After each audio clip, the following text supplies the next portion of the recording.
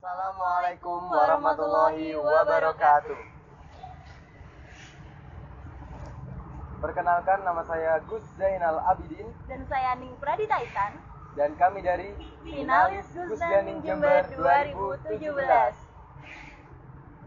Melu aku ya, Rek. Proltape Primadona ini berdiri pada tahun 1984, terletak di Jalan Kemajoyo 137, Kabupaten Jember.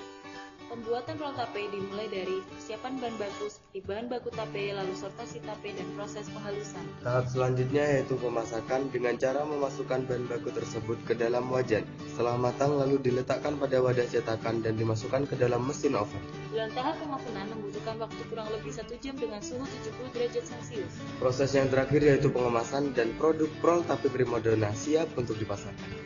Pelaku-pelaku Jember Aja